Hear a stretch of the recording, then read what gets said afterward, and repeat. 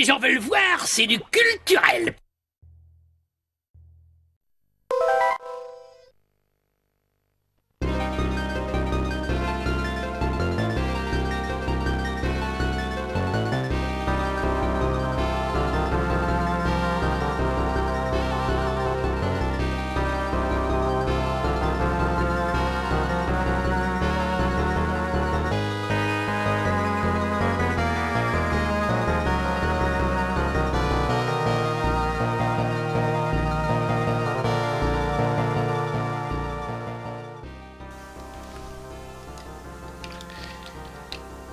Je sens qu'actuellement vous êtes déjà plongé dans l'ambiance extraordinaire de ce Castlevania. Enfin la review de ce jeu qui est euh, Castlevania Bloodline. Euh, ça faisait un moment que je devais la faire et malheureusement faute de temps parce que bon mon premier contact date maintenant depuis deux ans. Deux ans maintenant et oui j'ai quand même eu le temps de finir le jeu. Ça fait deux ans que je l'ai fini en plus.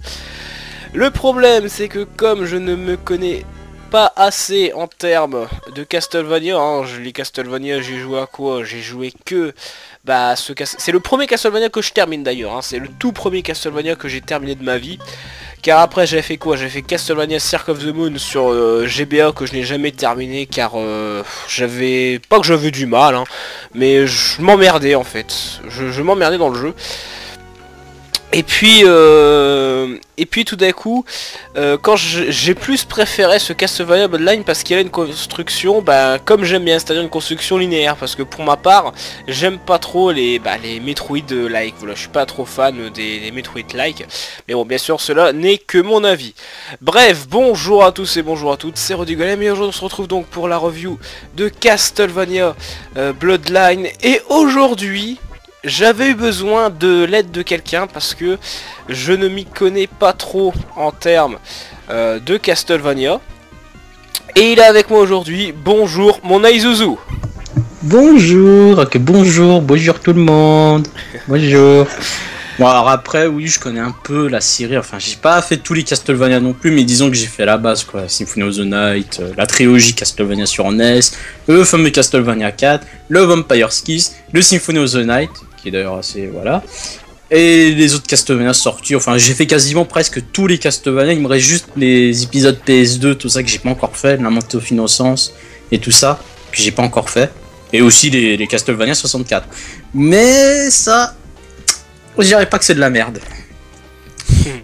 comme d'habitude, tu sais, t'as as cette fameuse réputation de Castlevania 64. Oh là là, il est pourri, il est mauvais, il est nul. D'ailleurs, je voudrais juste faire un petit, euh, un petit parenthèse par rapport à ça, à ceux qui critiquent le joueur du grenier parce qu'il avait critiqué, pardon, je vais pas commencer à mal parler, euh, Castlevania 64. Je tiens à signaler que de base, euh, joueur du grenier est avant tout un humoriste et non un vidéotesteur, hein, et que il avait bien dit dans sa vidéo comme quoi euh, lui, il aimait pas, mais il respectait ceux qui, aimaient. Voilà, donc la prochaine fois, avant de parler, euh, veuillez bien réfléchir et de bien écouter le joueur du grenier. Voilà. Bref. Ah mais il faut pas aussi il y a un truc qui est important à préciser mais vous savez ceux qui ont fait Castlevania 64 euh, ils ont refait un autre jeu après Game Boy Advance et vous savez il s'appelait comment? Circle of the Moon bah, c'est celui-là que j'avais commencé sur, euh, ah, Game Boy Advance, que j'avais pas forcément aimé. Bah faut dire que je suis pas un très grand fan des Castlevania, comme j'ai dit, hein, j'en ai fini qu'un seul, bah, c'est ce Bloodline. Et j'avais également fait bah, un clone de Castlevania bah, sur euh, la Master System. Euh, qui s'appelait Master of the Darkness, que j'ai plutôt bien aimé, bizarrement, j'avais bien aimé ce jeu, il était plutôt cool, qui graphiquement était magnifique, donc euh, si j'arrive à faire une bonne review avec mon Aizuzu, peut-être que vous aurez peut-être une review également euh, de, euh, de Master of the Darkness. Voilà, tout simplement. Oh, c'est trop mignon Ah, c'est trop mignon. Bon, alors on va commencer à parler du jeu quand même. Oui, alors euh, donc Castlevania Bloodline, sorti le 20 mars 2014, édité et développé donc par Konami. C'est un jeu euh, d'action plateforme typique des Castlevania qui comme d'habitude reprend donc un gameplay à l'ancienne mais avec cette fois-ci une petite spécificité euh, c'est comme ça qu'on dit oui c'est comme ça qu'on dit je pense bien sûr en plus c'est à dire que dans ce Castlevania on incarne deux personnages et non un seul. Ouais, c'est vrai. Alors après, maintenant que j'y repense, et c'est le cas, euh, il y en avait déjà un qui proposait d'incarner d'autres personnages. C'était le troisième sur la NES. Ouais, où il y avait Oui. également euh, Alucard. Ouais, il y avait Alucard, il y avait euh, Trevor Belmont, je crois, et comment il s'appelle l'autre T'avais le nain et t'avais une magicienne. Je crois que c'est Sifa Belnades. Enfin, je crois que ça s'appelle comme ça, je m'en souviens plus trop. Mais euh, c'est, bah, en fait, c'est un peu, on va dire, le deuxième Castlevania où on peut jouer euh, deux personnages en fait. Ce qu'il y a, c'est que comparé à Castlevania 3, là, tu peux directement incarner Ouais. deux personnages. Là où dans le 3, tu devais les débloquer. Ouais, c'est ça, c'était selon le chemin que tu prenais, tu débloquais tel ou tel personnage. Et même quand tu recrutais un personnage, tu pouvais en recruter un autre, mais c'était au détriment du personnage que tu avais recruté avant. C'est-à-dire, si par exemple tu prends un Lucard et que dans le chemin tu rencontres le nain, bah, tu peux très bien changer, si tu veux. Mm. Donc euh, voilà, c'est la petite précision. Donc euh, la spécificité, c'est donc que les deux personnages sont complètement différents. Donc l'un utilise bien entendu le fouet original euh, des Castlevania de la famille Ouais. Belmont. Or ici, il ne s'agit donc pas d'un Belmont, C'est John, John Morris, qui est ouais, donc qui a ri- qui le a fils de Chuck Morris. exactement. Désolé, je vais la sortir. Désolé, je suis Ouais. vraiment désolé. Je tiens à m'excuser auprès de tous les fans de Castlevania Bloodline. Cette blague devait sortir. Je m'en Ah, excuse. mais- Voilà. Eh, mais en même temps, euh, en même temps, on parle quand même d'un mec qui a quand même vaincu Dracula et qui avait le fouet légendaire. Attention, c'est pas n'importe quoi. Donc si, si John Morris a eu un fils et qui s'appelait Chuck Norris, excuse-moi, mais Chuck Morris. Chuck Morris, ah bah oui, euh, forcément. euh. Enfin Bon, bref, autant dire- allez, trêve de plaisanterie. Euh, donc, euh, le premier personnage, donc comme tu as dit, donc Maurice, qui donc euh, a le fouet euh, de typique de la famille des Belmont, Ouais, le Vampire Killer. le Vampire Killer. Et ouais. Euh, et euh, l'autre personnage, il s'agit euh, donc Et- de Eric Lecard. Ouais. Euh, C'est un. Bon, alors lui, je sais même plus qui c'est. Je sais juste qu'il a une lance, la lance d'Alucard, mais Alors, d'après euh, des informations que j'ai trouvées sur internet, donc bien sûr le fameux site de Wikipédia, euh, je vais résumer euh, ce qui est marqué. Donc c'est un vieil homme qui a appris donc sa destinée, où son but est donc bah, d'affronter donc le roi des vampires, donc Dracula. Et euh, c'est là donc qui vont f- qui va faire la rencontre donc de John Morris où leurs leurs destins sont liés donc de tuer donc ce grand vampire, le roi des vampires tout simplement. Ouais. C'est ce que je pense. En fait, il a pas de réelle utilité dans le jeu, quoi. Mm. Enfin, il a pas, il a pas une véritable histoire. Et d'ailleurs, tu m'as dit qu'on le retrouvera plus tard dans, dans un autre euh, Castlevania. Ouais, on le retrouvera. Bon, euh, là, bon, là, je te dis, à ce moment-là, il faudra mettre un spoil parce que euh, l'identité de Eric Lecard, tu le sais quasiment à la toute fin du jeu. Mais en fait, dans le jeu, ce qu'il faut comprendre, c'est que ce jeu, euh, Bloodline, a un lien avec Portrait of Ruin parce que le héros qu'on incarne, c'est Jonathan Morris. Mhm. Et justement, le problème dans, dans le scénario du jeu, c'est que Jonathan Morris ne sait pas utiliser le Vampire Killer. Et il y a un fantôme en fait qui va lui expliquer comment utiliser le Vampire Killer en fait. Donc euh, voilà. C'est et tout au long du jeu en fait, on va apprendre à l'utiliser. Et voilà. Voilà, voilà. Et il y a aussi et on peut aussi avoir l'arme d'Eric qui s'appelle euh, la lance de Lucard. La lance d'Alucard. Ouais. C'est la petite référence, la petite, euh, tu vois, la petite, euh, petite clin d'œil qui fait plaisir. C'est là quand Donc- même où tu vois que les euh, scénarios des Castlevania sont quand même assez liés. Et c'est surtout que aussi le personnage d'Eric euh, sera plus mis en valeur quoi dans, dans, dans le portrait euh, dans le portrait of Ruin, alors que dans celui-là il est pas réellement mis en avant quoi. Je veux dire, euh, on apprend rien quoi sur lui. Alors que dans le portrait of Ruin on va apprendre pas mal de choses. C'est ça développe encore plus le background déjà des, des, des Morris déjà de Jonathan Morris et John Morris et de Eric Lecard quoi. C'est vraiment, je trouve ça vraiment pas mal quoi pour le coup. Mhm. C'est un petit développement de background, ça fait toujours plaisir quoi. Donc euh, ouais, c'est c'est un des seuls Castlevania d'ailleurs qui a un lien avec un autre Castlevania quoi. Enfin quoique, peut-être qu'il y en a un autre mais là comme ça de tête là, j'ai pas j'ai pas de nom mais c'est un des rares Castlevania qui a un véritable lien avec d'autres Castlevania. Voilà. D'accord, donc il n'y en avait pas eu d'autres par le passé. Bah Par les autres enfin les autres on va dire ils se suivaient pas Parce réellement. qu'après, t'as- faut pas oublier Castlevania Lord of Shadow, Sha- Lord of Shadow 2, non?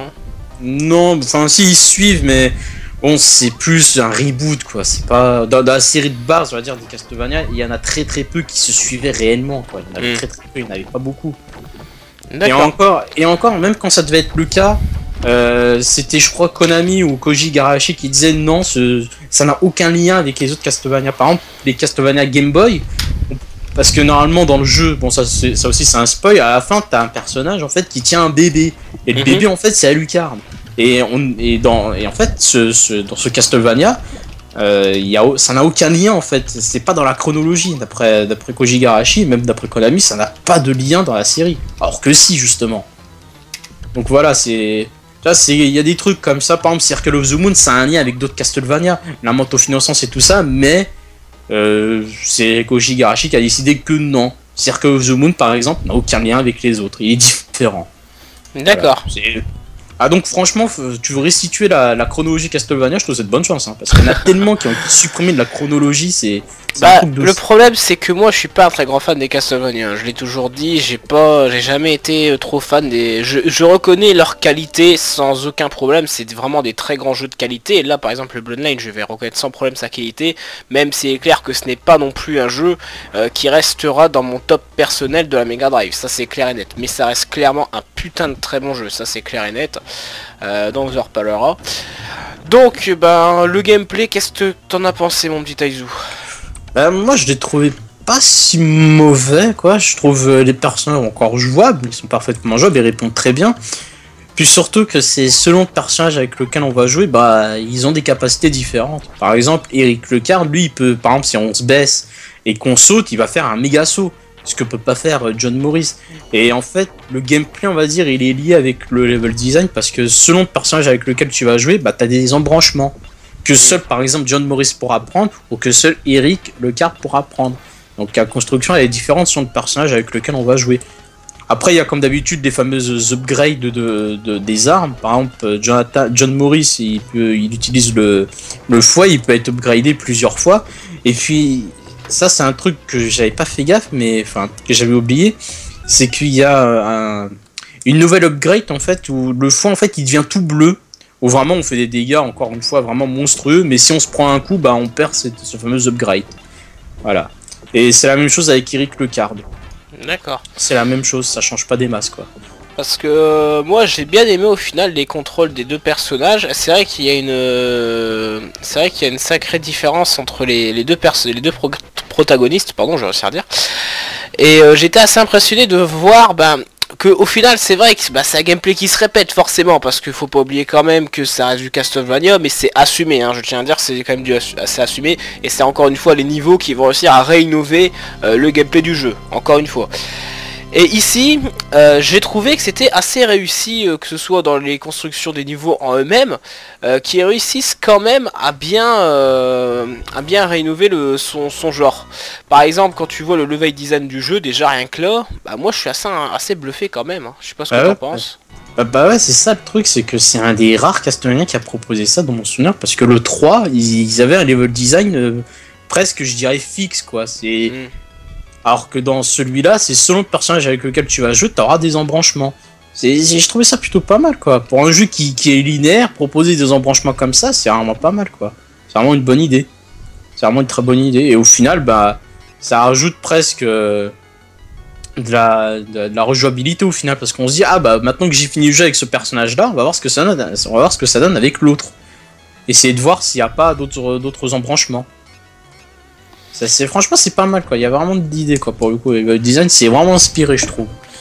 Il n'y a pas... y a pas grand chose qu'on peut reprocher. Au contraire, on peut qu'applaudir euh, l'exploit, quoi, presque. C'est cette prouesse, quoi. C'est, c'est vraiment. Surtout vraiment- le fait que, comme tu dis, le fait que chaque protagoniste a un chemin différent rajoute encore une fois une, euh, une source de réinnovation au niveau de- du jeu. C'est-à-dire qu'on n'a Ah pas, ouais. encore une fois, je trouve ça intéressant de voir qu'ils ont essayé quand même d'aller jusqu'au bout de leur création en ce qui concerne ce Castlevania Bloodline.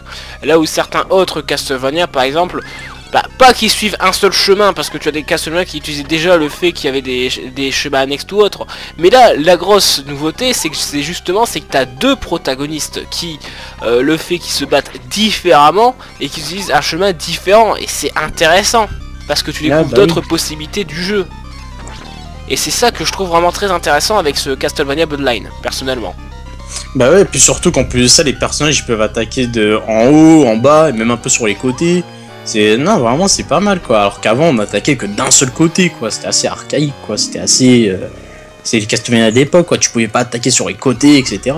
Et surtout ce que je reprochais par exemple à Castlevania 4 que le gameplay rendait le jeu trop simple. Bah là euh, on va se rendre compte que ce sera pas du tout le cas parce que même si on peut attaquer sur les côtés et autres, ça rendra pas le jeu aussi simple. Mm. Au contraire même. Il y a juste certains qui disent que, euh, que le gameplay de Eric Lecard est cheaté. Qu'est-ce que t'en penses de ce côté-là? Je dirais pas qu'il est cheaté non plus. Je dirais pas qu'il est cheaté. Je dirais juste qu'il est plus simple à prendre en main parce qu'il a une meilleure. Déjà, il a une plus longue portée. Il a une plus longue portée. Et moi, je trouve qu'il n'y a pas de réelle différence quoi, au niveau du gameplay. Quoi. J'ai pas, j'ai pas ressenti de, réelle différence. Quoi. C'est non, il est pas aussi simple, quoi. Je veux dire, euh, c'est pas. On va dire, oui, c'est un personnage pour les noobs, mais pas du tout. Pas Moi j'ai pas euh, moi qui n'ai pas un très grand connaisseur des Castlevania, j'ai pas vu forcément de grosses différences. Je veux dire, faut que vous sachiez une chose, j'ai fini une fois le jeu avec euh, donc euh, John Morris et j'ai également fini une fois le jeu donc avec Eric Lecard. Et personnellement, j'ai eu autant de difficultés avec l'un que l'autre. hein. J'ai pas vu réellement de grosses différences, personnellement. Ah, c'est comme, c'est comme si on me disait, ouais, dans Castlevania 3, je joue avec Alucard, le jeu il est trop simple. Pas du tout, il est tout aussi dur, il est tout aussi compliqué même. Donc non, c'est pas. Ah, moi je trouve que c'est. Non, c'est infondé ce que disent les gens en fait, c'est infondé quoi, c'est pas. Maintenant, c'est sûr que la, la force euh, du personnage, euh, c'est qu'il peut frapper en hauteur, c'est sûr. Comparé à, Ah oui. comparé à John Morris qui ne peut pas. Enfin, si, il peut le faire, mais comme je dis, moi j'ai plus l'impression que c'est plus au niveau de la portée. Eric Lecard, lui, il a une plus grande portée Mhm. par rapport à John Morris. Même quand il a l'upgrade de- du foie à fond, j'ai l'impression qu'Eric Lecard, il a quand même une meilleure portée. Et c'est juste ça qui rendra le jeu peut-être un peu plus simple. Mais de là à dire que c'est vraiment casual ou quoi que ce soit, euh, non, faut arrêter les conneries de deux secondes, c'est pas du tout le cas. D'ailleurs, la Bah, difficulté du jeu est tout à fait correcte. Hein. J'ai pas trouvé Ouais. le jeu si extraordinairement dur que ça. Bah, disons que c'est la difficulté des Castlevania, quoi. C'est un peu exigeant. C'est bon, je dirais pas non plus que c'est du par cœur, mais presque. Donc, non, c'est il suffit d'être patient, persévérant. euh, non, vraiment. C'est Bah. comme Castlevania 3, c'est un jeu, c'est comme Castlevania 3, par exemple, c'est un des plus durs, Castlevania. Et oui, c'est l'un des plus durs, effectivement, il est très difficile. Mais si t'es un peu patient et tout, tu, tu peux y arriver. Tu peux y arriver. Bah, c'est juste euh, encore qu'aujourd'hui, les gens sont tellement euh, pris par la casualisation qu'ils ont, ils ont plus l'habitude de jouer à des jeux. euh, Puis- que surtout, alors surtout, je crois, je suis pas sûr, j'ai pas vraiment fait gaffe, mais par rapport aux autres Castlevania, il n'y a pas de timer. Donc déjà, rien que là, déjà là, tu peux prendre tout ton temps pour finir le jeu. Il n'y a Mhm. pas de problème. À l'époque, c'était ça aussi qui nous pressait un peu, c'était le timer. On se disait, voilà, il- on n'a plus trop le temps. Par exemple, Castlevania 3, je me rappelle qu'il était très exigeant à ce niveau-là, parce que le timer était très serré et il fallait vraiment faire vite pour finir un niveau, même pour battre le boss, parce que c'était vraiment pas évident. Donc euh, à l'époque on se pressait un peu. Là aujourd'hui on a tout notre temps pour finir le jeu, on a tout notre temps pour, pour bien ana- analyser et tout. Donc euh, non, il est pas. il- C'est pas parce qu'il n'y a plus de timer que forcément le jeu il sera plus simple. Au contraire. bah, surtout tout que moi, j'ai jamais compris l'intérêt d'un timer dans, dans un jeu comme ça, personnellement. Bah disons que c'est plus je pense pour presser le joueur qu'autre Ah chose. mais pourquoi pourquoi se presser putain? C'est des jeux où justement moi je trouve que je préfère prendre mon temps. hein. Bah moi j'ai pas même moi pour le coup tu vois j'ai pas. Moi j'ai j'ai jamais aimé le timer. Pour ma part le timer a toujours été une connerie euh, dans les jeux vidéo. Bon à la limite dans les jeux d'arcade bon c'est normal hein, euh, c'est chacun c'est un peu normal puisque après c'est un temps d'attente dans, dans les jeux d'arcade. Mais après pour ce qui est des consoles de salon j'ai jamais compris moi l'intérêt du timer. J'avais envie de dire tant mieux qu'ils l'ont supprimé d'ailleurs. Ah bah oui, euh, encore heureux j'ai envie de dire, parce que là il y a un... Encore pour Castlevania... Par exemple, Castlevania 3 je comprends pas, parce que... Désolé, parce que Castlevania 3 était quand même assez difficile, et le fait que le timer aussi rendait... euh, faisait en sorte que voilà, on était encore pressé par le temps, et que souvent on n'arrivait pas à finir un niveau à cause justement du timer, du genre tu bats un boss, et au moment où la boule apparaît pour récupérer le... Pour finir le niveau, bah, le timer il continue, et ça, ça m'est déjà arrivé de battre un boss, de récupérer. avant que je récupère la boule, bah le timer il était à zéro quoi, et je devais tout recommencer. Mais c'était un élément assez frustrant du 3, ce qu'il n'y avait pas dans les autres, parce que dans les autres on avait largement le temps. Mm. Là, le fait qu'il n'y ait plus de timer, dans un sens, tant mieux, c'est une bonne évolution, je trouve, c'est tant mieux. Vraiment tant mieux. Mais après, voilà, le jeu il est aussi dur avec John Morris qu'avec euh, Eric Lecard. Ça, faut être très clair là-dessus. Euh, Vous avez autant galéré l'un avec l'autre. hein. Je vous le dis tout de suite. euh. C'est juste que Eric Lecard, il est un peu plus accessible. C'est tout. Mais le jeu n'est pas aussi simple. Ko- Konami, ils ont bien prévu. hein. Ils, ils ont bien calibré leur jeu. hein. Et encore heureux, j'ai envie de dire. Ah, encore heureux. Euh. Après, on avait dit aussi que le un de ses points négatifs, c'est que le jeu était quand même assez court. Bah malheureusement ouais, tu fais rapidement le tour du jeu et les niveaux ils sont pas excessivement longs, c'est ah, t'arrives rapidement à la fin du jeu. Vraiment en une après-midi le jeu tu le termines quoi, vraiment en une après-midi. euh. Bon après je dirais pas non plus que c'est la durée de vie d'époque des Castlevania parce que les Castlevania notamment le 3 était extrêmement long. Le 3 je me souviens était extrêmement long, je me souviens je crois que j'avais mis deux jours à le finir tellement il était long, il était dur aussi. Là encore ça va, c'est pas c'est une durée de vie un peu un peu courte quoi c'est un peu dommage un petit peu dommage. On fait rapidement le tour du jeu. Bon Bah, Après- surtout qu'ils auraient pu quand même faire aller un peu plus loin quand même, surtout euh, vu le, le potentiel du jeu quoi. après faut se dire un truc il y a aussi la rejouabilité derrière. Donc déjà la durée de vie elle est un peu plus accrue. Donc au final on pourrait dire que c'est la, la durée de vie de ce Castlevania c'est la même que les autres quoi. Ça change pas des masses quoi. C'est la, la durée de vie est la même des- que les autres Castlevania. C'est à dire en même pas une après-midi tu finis le jeu quoi D'accord, d'accord. Donc euh, un de ces points différenciés des autres Castlevania, c'est son donc son scénario. Tu m'avais dit que donc son scénario était quand même assez euh, différent des, des autres Castlevania, où là où les autres Castlevania utilisaient surtout un système bah, du classique euh, Dracula est ressuscité, on doit aller affronter Dracula. Ici Ouais. le scénario est complètement différent. Ouais, c'est ça. C'est en fait, euh, comment expliquer C'est déjà, déjà, faut savoir que le scénario du jeu, c'est un fait historique. C'est toujours, je crois, ça se déroule durant la Première Guerre mondiale. Et il y a une certaine, alors si je dis pas de conneries, parce que j'arrive pas à prononcer son nom. Elisabeth Batley. voilà, c'est Elisabeth Batley en fait qui a décidé de ressusciter euh, Dracula. Et ce qu'il faut savoir, c'est que cette femme-là, dans mon souvenir, elle a réellement existé. Et pour gar- et en fait, ce qu'elle a fait, c'est que, bah, en fait, elle a été tuée tout simplement. Elle a été mise à mort parce qu'elle avait, elle avait tué 800 jeunes filles et elle avait bu leur sang, ces 800 jeunes filles, pour euh, garder sa beauté. Voilà. C'est assez dégueulasse, effectivement. C'est effectivement très, très, très dégueulasse. Et cette femme existe vraiment. En fait, si vous voulez, c'est un contexte historique, mais aussi fiction, parce qu'il y a Dracula. Et donc dans le jeu en fait ils ont utilisé ce mythe, donc euh, cette réalité pour créer leur scénario de jeu, Voilà. euh, qui est plutôt cool d'ailleurs parce qu'après ça nous apprend des, des choses qu'on ne sait pas forcément. Et donc dans le jeu, bah, Elisabeth Batley est donc une vampire du euh, Mhm. 15e siècle, donc qui avait été exé- exécutée donc comme tu as dit pour boire euh, le sang de 800 jeunes filles. Ah ouais, ça c'est immonde, ça. T'as fais été- ça, quoi. Ah non mais c'est dégueulasse, oui c'est très dégueulasse. Putain, là. Ah ouais. Et donc elle a été euh, ressuscitée 300 ans plus tard par euh, Drotia Zuenz, j'arrive pas à dire son nom, qui Ah, est donc non. une euh, sorcière qui est au service donc de cette femme et euh, donc euh, qui euh, a pour but donc de tuer donc les chasseurs de vampires. Et pour cela, bah, elle a décidé donc de ressusciter donc son oncle, le comte Dracula.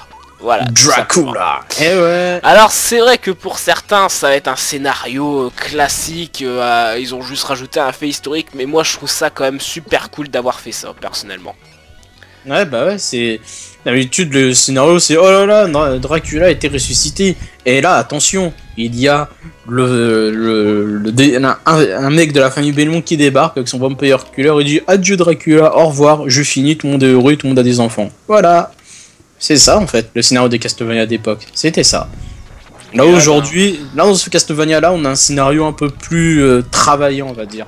Un peu plus intéressant parce que en fait, on sera pas forcément que dans le château, parce que d'habitude dans les Castlevania, ça se déroule toujours dans le château de Dracula. Là, non, ça sera pas comme dans le château, on sera un peu à l'extérieur du château. En fait, le château, on y va qu'au début, puis après, c'est fini. Mm. Voilà, donc euh, ça se déroulera. Le jeu va pas forcément se dérouler que dans le château, on sera un peu à l'extérieur, et c'est pas plus mal, quoi. Déjà là, euh, déjà là, il y a une petite innovation. Et c'est vraiment plus mal. plutôt pas mal, surtout sachant qu'encore une fois que Konami ne maîtrisait pas forcément euh, la Mega Drive, et le fait que, bah, que voilà qu'une que que le jeu avait été annoncé sur Mega Drive était quand même extraordinaire pour son époque, quoi, parce que personne ne s'y attendait. Ah bah oui, surtout personne s'y attendait. Même, euh, je veux dire, moi là, je me rappelle la première fois que j'avais fait le jeu il y a quelques temps, il y a quelques années même. Euh, je crois que je l'avais découvert euh, un peu par hasard. Et je me rappelle que déjà, déjà le scénario, déjà lui-même m'avait surpris. Déjà les personnages m'avaient surpris. Enfin, j'étais vraiment agréablement surpris du jeu. Je me disais même c'était l'un des meilleurs Castlevania quoi. Je me disais mais c'est un truc de fou. Je me disais mais moi j'ai pas, j'ai pas l'habitude de connaître ça. Surtout que, surtout que son, son OST est juste extraordinaire. Oh ouais, putain, quand tu commences le jeu, que t'entends le pre, la première musique, hein, la toute première, tu te dis ah ouais là, là, ouais, là c'est du haut niveau. Là c'est du très très très haut niveau. Là c'est un truc de fou quoi. C'est un truc de fou putain. Mais c'est un truc de ouf. Moi j'ai, j'adore, j'adore. Après je dirais pas non plus que c'est la meilleure OST de tous les Castlevania parce que voilà. Parce que Order of Ecclesia, ça, voilà, euh, je peux en parler. Donc voilà, c'est c'est comme ça, c'est une très bonne OST, c'est vraiment exceptionnel quoi, j'ai rien à dire. Franchement, comme d'habitude, on est toujours dans l'ambiance, on est toujours dans le jeu quoi, tu décroches pas quoi, tu décroches pas, t'adores les thèmes, tu les réécoutes en boucle. Sinon vraiment c'est excellent quoi. Non, vraiment c'est une très très bonne OST. Franchement, je m'attendais pas déjà déjà d'un, je m'attendais pas à une OST comme ça parce qu'après les- les- la perfection qui était les Empire Kiss et autres, je m'attendais pas à une OST comme ça, notamment avec Shino Rondo. Je m'attendais pas à un truc comme ça et for- forcé de constater que même pour l'époque, ça envoie du pâté quoi. Mm. Ça, franchement, j'ai adoré. Voilà, voilà. Alors, euh, un de ses points négatifs, par contre, c'est son système de continu euh, dont on a Oh du mal à comprendre. Ah oui, son système de continu, il est complètement à chier quoi, littéralement. Le truc que je comprends pas, c'est que bon, bon, euh, le fait que c'était pas le fait forcément que le jeu a un système de un système de continu euh, limité, mais c'est le fait euh, que je comprends pas pourquoi est-ce qu'ils ont limité les continus, sa- sachant que on a des mots de passe. C'est ça le problème. Bah oui, Et ça, le problème, c'est qu'on a des contenus déjà qui sont pas illimités. Et en plus, euh, si en plus, si tu perds tous tes contenus, tu recommences tout le jeu, quoi. voilà. Et le seul moyen d'avoir des mots de passe, c'est de battre le gros boss du gros monde. Et attends, pour arriver jusqu'à, faut que tu passes au moins 7 ou 8 niveaux, quoi. Ce est complètement stupide. Alors pourquoi avoir mis un... C'est pas le fait de mettre des contenus euh, limités qui, qui, qui pose problème. Mais c'est le fait que ça ne sert à rien. Ça, ne sert strictement à rien. Pourquoi revenir à un système d'un jeu NES alors qu'ici justement la, la priorité des Castlevania c'est qu'on a des contenus illimités. Je veux dire, on- n'est pas là pour recommencer à chaque fois le jeu. Puis c'est complètement con et c'est complètement en contradiction bah, avec son système de mot de passe. Surtout que déjà son système de mot de passe, il est à chier. Faut avouer franchement le système de mot de passe. Mais qu'est-ce que c'est que ça? Franchement. Encore, euh, mais surtout le problème, c'est que voilà, c'est... Le mot de passe, il arrive pas tout le temps, quoi. Il arrive qu'à certains moments, quand t'as battu, comme j'ai dit, le gros boss. Et normalement, ce que j'aurais aimé, c'est que quand tu tues un boss, t'as un mot de passe. Parce que franchement, attendre je ne sais combien de niveaux avant d'avoir un nouveau mot de passe, je suis désolé, mais moi je trouve ça frustrant, quoi. Je trouve ça frustrant. C'est-à-dire faut, faut tuer les, les boss. Dès que t'as tué les boss, bah, Et Mais encore, même quand tu tues un boss, souvent c'est même pas dit que t'es le mot de passe. Faut attendre euh, quelques niveaux avant d'avoir un nouveau mot de passe. C'est ça le problème. Et c'est là le gros problème. C'est ça que je trouve bête quoi dans le jeu. C'est que le mot de passe, bah. bah, Faut attendre euh, presque 7 ou 8 niveaux quoi. Par exemple, t'es au stage 2, faut que tu fasses, je sais pas, le stage 7, euh, enfin le stage 2, monde euh, je sais pas combien, monde 7 ou 8, tu bats le gros, tu bats le boss et là, ah, t'as un mot de passe. Alors que juste avant, t'en avais pas alors que tu battais des boss. C'est pas logique quoi. Moi je trouve ça c'est. Non, moi j'ai trouvé ça chiant. Personnellement, euh, j'ai pas aimé ça. Ah moi aussi j'ai pas du tout aimé. hein. Alors là très clairement j'ai pas du tout aimé. J'ai horreur de ce genre de système quoi. Encore sur NES, je voulais bien comprendre parce que c'était les limitations techniques de la NES. Mais là c'est bon quoi. On est sur Mega Drive. Putain faites un effort les mecs. C'est bon. hein, Donnez-nous un vrai système de sauvegarde ou, un système de mot de passe tous les les une fois qu'on a battu un boss quoi. C'est bon. C'est bon, alors oui, on va me dire oui, mais ça se mérite. Ouais, d'accord, ok, mais pour un jeu comme ça, je suis désolé, euh, non. Alors vous allez me dire oui, mais le jeu il est court. Ouais, d'accord. Mais quand t'as envie, je sais pas, par exemple, de faire une petite pause, eh bah tu pourras pas. Et après, tu seras obligé de recommencer tout le monde. Tu seras obligé de tout recommencer. Eh, non, c'est frustrant, c'est chiant. Y a aucun intérêt. Euh, surtout ça, au final, c'est presque pour dire, bah on rallonge la durée de vie. Voilà. C'est on rallonge la durée de vie de façon artificielle, quoi. Voilà, c'est pour ça. Alors si c'est ça, franchement, c'est vraiment très très con. hein. Ouais. Voilà, c'est clairement. Encore une fois, c'est un système que j'ai à chaque fois que c'est le système de faire la durée de vie pour rien. Ça ne sert strictement à rien. Mais vraiment à rien. Bah ouais, ça sert à rien. Pour moi, en tout cas, personnellement, c'est c'est plus euh, chiant qu'autre chose. Mm. Vraiment. Donc c'est dommage. Voilà, ça c'est c'est vrai que c'est dommage. Surtout que les boss sont géniaux, c'est ça le pire.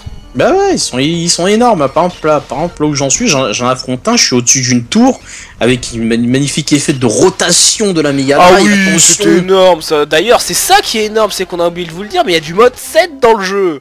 Bah ouais, on nous dit ouais la Super NES elle est la seule à faire du mode 7. Bah écoute Bah, vieux, voilà. moi je te dis non. hein. Moi je peux te citer des jeux qui font, Ah oui, moi, font du mode 7.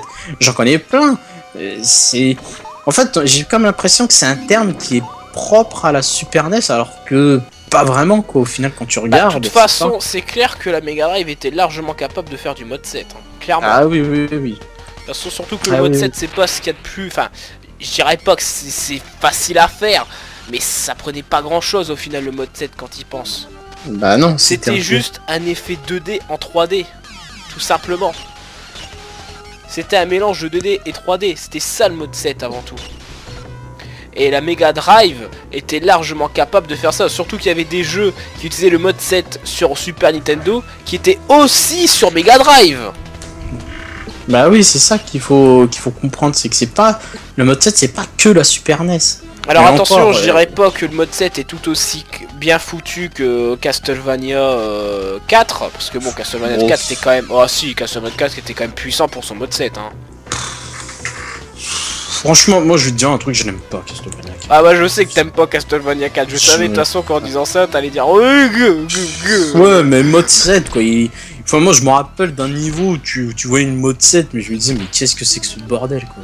Bah faut avouer quand même que le système de rotation était quand même magnifique dans... Ouais, d'accord, ouais, c'était magnifique, mais ça arrive que presque à un moment du jeu quoi. Ça arrive à un seul moment. Là, dans, là, dans, dans, dans ce Castlevania, là, t'as tout, t'as des effets de distorsion, de rotation, c'est des trucs de fou quoi. Ah oui, non mais je suis d'accord avec toi, ça c'est clair que je suis d'accord avec toi sur ce coup, hein. c'est vrai que c'est impressionnant. Moi j'ai été euh, très impressionné par les systèmes de mode 7. Et à un moment donné je me dis mais putain ils ont mis du mode 7 dans le jeu quoi et après on dit que la Mega Drive elle est pas capable de le faire quoi. C'est encore une fois là où je vous dis qu'ils arrivent à réinnover le, gameplay du jeu grâce à ces niveaux, vous voyez C'est ce que je vous disais dans ma review de, de Splatterhouse, c'est-à-dire que dans y a à chaque fois que- qu'il y a des, des jeux comme ça qui arrivent à réinnover leur gameplay, un, un gameplay simple au final. Et la force de ces jeux, c'est qu'ils arrivent à innover bah, leur gameplay grâce à quoi? À leur niveau. Et ouais C'est ça la puissance Et aujourd'hui, t'as plus ça dans les jeux d'aujourd'hui. Le fait comme ça qu'ils essaient d'innover leur gameplay avec, euh, avec le- leur, leur niveau. Tu l'as plus ça aujourd'hui. Et c'est con Bah parce que c'est ce qui faisait le la puissance des jeux d'époque et c'est ce qui nous permettait de voir le- la création de certains jeux. Et ouais.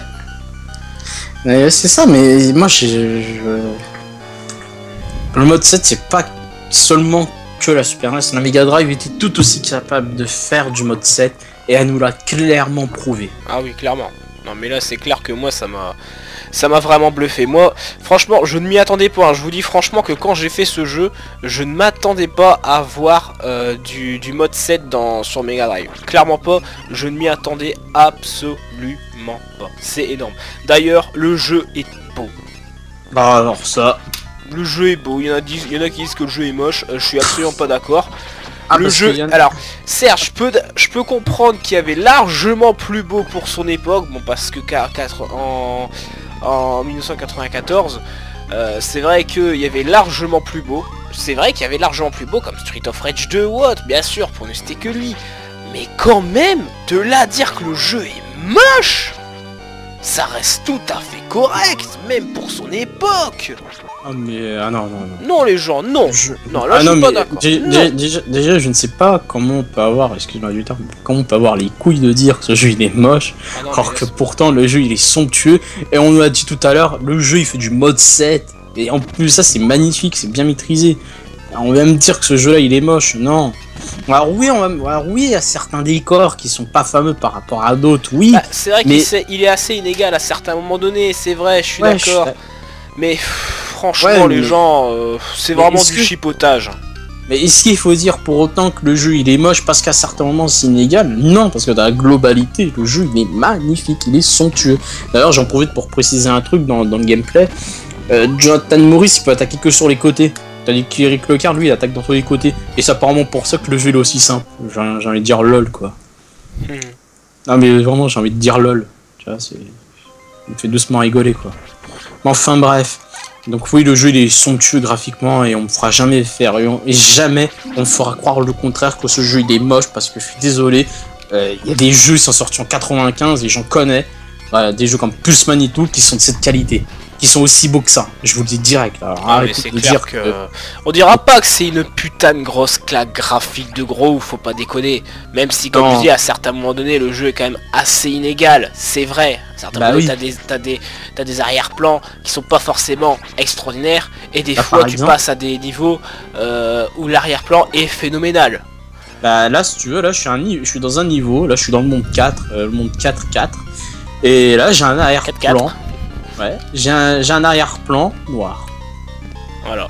Donc, euh, alors, que juste, alors que juste avant, il y avait un truc de fou magnifique. c'est- et c'est ça qui est dommage. Oui, c'est un inégal, ouais. Mais là, maintenant, je passe à. Maintenant, là, tu vois, je suis dans le 4-5, je suis à un arrière-plan où c'est mécanique et tout, il y a, y a de l'animation en arrière-plan et tout, c'est magnifique. C'est somptueux. Alors après, est-ce que tout le jeu est comme ça? Pas forcément. À certains moments, ça sera comme ça. Mais comme je l'ai dit, dans la globalité, est-ce que le jeu il est moche? Dans sa globalité. Du tu prends le premier niveau, tu prends tous les niveaux du jeu, hein, tu les prends tous. Est-ce que le jeu il est moche? Non. Non. Voilà. Non, le jeu il est pas moche. À certains moments, le jeu sera inégal. Tu auras un arrière-plan noir, des trucs pas, pas superbes. Mais ça sera qu'à certains moments. Est-ce que c'est durant tout le jeu? Non. Donc le jeu il est magnifique et ça on me fera jamais croire le contraire. hein, C'est bon. Et j'attends et j'attends les contre-arguments bien évidemment. Mais comme bien, bien sûr personne va les sortir pour pas changer. Donc voilà, qu'est-ce qu'on avait dit encore point négatif également euh, Le bestiaire. le bestiaire que tu m'as dit qui était euh, trop repompé. Bah, pas forcément trop pompé, mais disons que c'est du classique, quoi. Les squelettes, les chauves-souris, c'est du classique. Bah, et on connaît. Ce qui est dommage, c'est que tu vois qu'ils ont essayé de faire différent dans ce Castlevania et tu vois qu'ils Ouais. ont rien fait pour le bestiaire. Pour moi, c'est allez, on va essayer de faire un truc différent, mais euh, allez, on garde le même bestiaire. De toute façon, le bestiaire, on s'en fout. Voilà, pour moi, ça c'est. Ouais. Je le vois comme ça, moi. Bah, c'est à peu près ça dans les grandes lignes, c'est que bah, t'as de nouveaux ennemis, mais au final tu te dis ouais en fait c'est une sous-espèce. C'est ça en fait, c'est des la plupart des ennemis qu'on va voir en fait ça sera des sous-espèces, des de squelettes ou des trucs comme ça.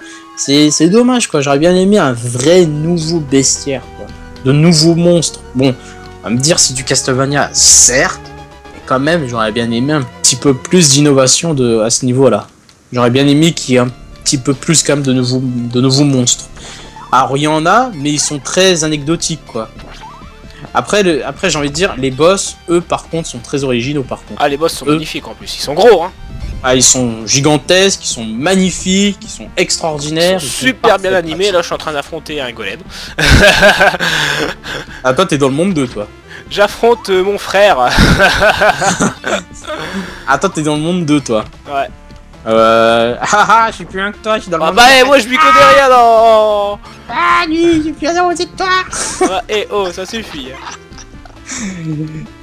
Ah, merde, putain, il m'a tué ce salopard. Euh, Non, donc, mais- euh, donc ouais, voilà, c'est un peu dommage quand même qu'il n'y a pas d'évolution qui concerne le gameplay, sachant quand même qu'ils ont essayé de faire un jeu quand même assez différent euh, des autres euh, des autres Castlevania. Bah c'est stupide, c'est stupide.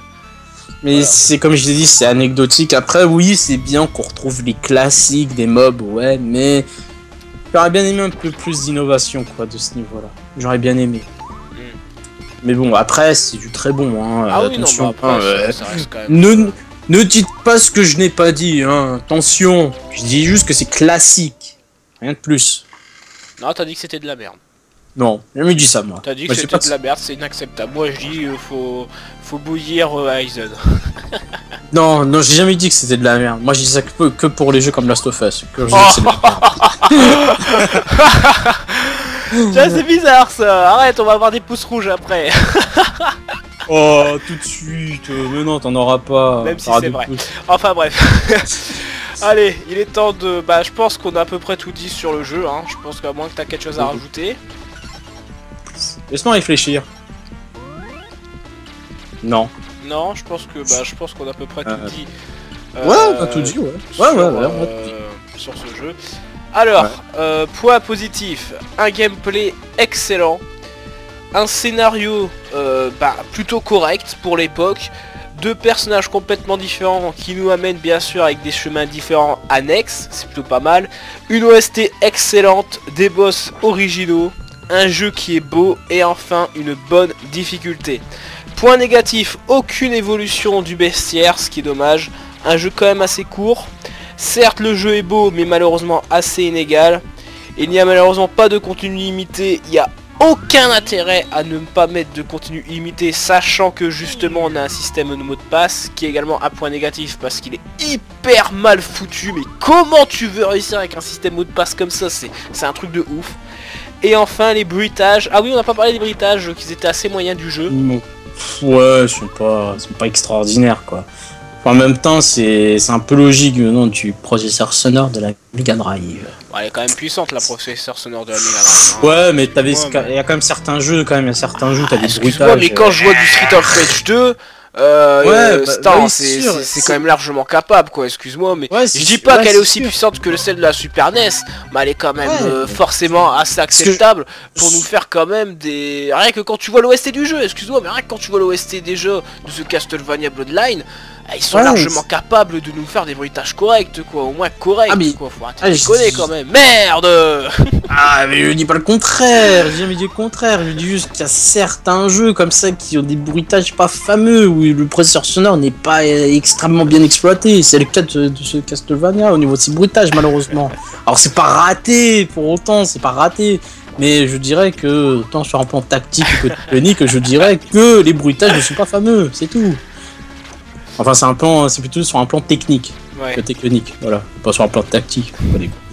Mais voilà, donc... euh, Donc voilà, donc bah, je ah. pense qu'il est temps de conclure. Castlevania Bloodline, bah, c'est c'est du très bon. Hein. Je- oui, clairement, c'est très bon. C'est vraiment du très bon. Certes, c'est pas non plus le meilleur jeu de la Mega Drive, mais je trouve vraiment quand même que ça reste un jeu qui est très sous-estimé alors qu'il est vraiment génial. Ouais, puis surtout que c'est un Castlevania qui, Différent. même bah, un peu différent, on va dire. Dans, il est classique dans un sens, mais quand même, il a apporté pas mal de choses quoi à la série. Le fait de jeux de personnages complètement différents qui n'ont pas le même gameplay. Enfin voilà, il y, a des- petites innovations quand même. C'est très intéressant. Le fait qu'on soit pas forcément que dans un château, qu'on soit à l'extérieur, non, c'est vraiment pas mal quoi. Et le dernier jeu qui avait proposé ça, bah, c'était Castlevania 3. Euh, attendez, après on a eu quoi? On a eu Castlevania 4 dans un château, Vampire Skis quasiment dans un château. Mais qu'est-ce que c'est que ça? Il n'y a pas que le château, il y a aussi les décors extérieurs, aussi il faut voir un peu la beauté extérieure, il faut voir la beauté du monde.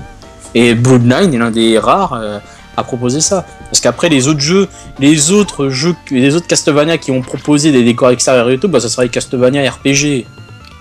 Et encore, je dis ça, Circle of the Moon c'est dans un château, Harmony of Dissonance c'est dans un château, non quoique quand même, euh, quelquefois on est à l'extérieur. Mais voilà, c'est juste pour dire que voilà, souvent on sera surtout dans des décors intérieurs, mais qui sera lié au château de Dracula. Là non, là on est réellement à l'extérieur, comme Castlevania 3, et aussi le 2, sur NES. Mais bon, celui-là aussi il est tellement sous-estimé que voilà. Il y a beaucoup de jeux comme ça et c'est pour ça que je voulais faire également cette review parce que je trouve vraiment bah, qu'au final euh, le jeu est très sous-estimé. Moi pour ma part, je dis honnêtement, je dis pas que c'est mon jeu préféré de la Mega Drive, loin de là parce que moi je suis pas un très grand fan des Castlevania, vous le savez très bien. Ah mais tu vas te faire taper toi.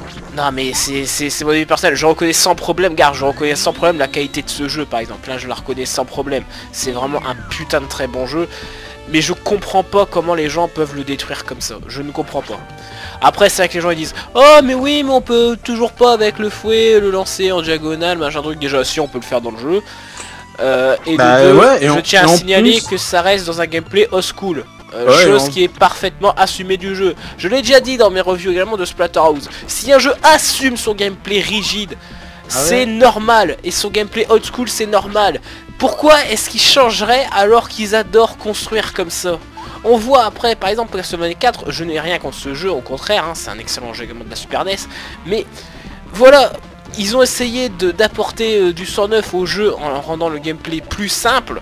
forcément comme c'est plus Ouais. simple les gens vont être contents et quand je vois que Castlevania euh, Dracula X qui s'appelle le- la suite sur euh, Super NES Euh, Vampire Kiss. Vampire Ça fait- Kiss qui se fait démolir juste parce qu'il a repris un gameplay au school alors que le jeu est parfaitement assumé encore une fois de ce côté là Et en plus, je dis un truc, mais ce Castlevania là aussi, c'est un peu du classique dans le sens où dans, dans le gameplay, euh, on peut pas se diriger dans les sauts. Mais, les personnages, ils sont légers, tu vois, ils sont un peu souples, tu ils sont plus maniables. Tu prends Castlevania 1 sur NES et tu prends ce Castlevania, tu vas, tu vas voir, tu vas voir la différence, mon coco. Il y en a une différence au niveau, ne serait-ce même qu'au niveau du maniement. Tu vois qu'il y, a- un personnage qui est, un camion et t'en as un autre, il est super léger. Et en plus de ça, j'ai oublié de dire un dernier truc, mais pour euh, Jo- John Morris, euh, son fouet peut servir de grappin. oui ça aussi ouais justement je suis dans le niveau là où Ouais, où tu je vois. n'arrive c'est- pas à passer avec euh, avec euh, j'ai oublié son nom avec Eric Eric. Lucard je suis dans le niveau où j'arrive pas à passer avec Eric Lucard et donc à mon avis là je dois reprendre John Morris pour avancer Bah ouais, tu vois, c'est. c'est là où on voit qu'il y a les différentes constructions enfin Ouais, bref ouais. cette euh, je pense que euh, cette vidéo a assez duré Bah écoute Aizen, merci de m'avoir encore une fois accompagné pour euh, ce cast, cette review de Castlevania euh, Bloodline, ce fut un vrai plaisir. Bah merci à toi de m'avoir invité, ça m'a fait plaisir de parler de ce Castlevania un petit peu trop méconnu à mon goût, Et qui mérite quand même. euh, ouais, aussi très sous-estimé, qui mérite quand même euh, un petit peu plus de reconnaissance quoi. Voilà. C'est un peu comme les autres Castlevania, comme le 2 sur NES ou Vampire Kiss, quoi. Il mérite plus de reconnaissance. Il mérite Carrément. beaucoup plus. Parce qu'ils ont apporté quand même, surtout celui-là qui a apporté un, presque un vent d'air frais à la série, quoi. Qui a apporté un réel euh, vent d'air frais à la série, quoi. Parce que pour un jeu comme ça, euh. Après c'est vrai que beaucoup me diront que qui, disent, qui me diront comme quoi pourquoi est-ce que je parle de Castlevania 4 machin truc alors que je n'y ai jamais joué.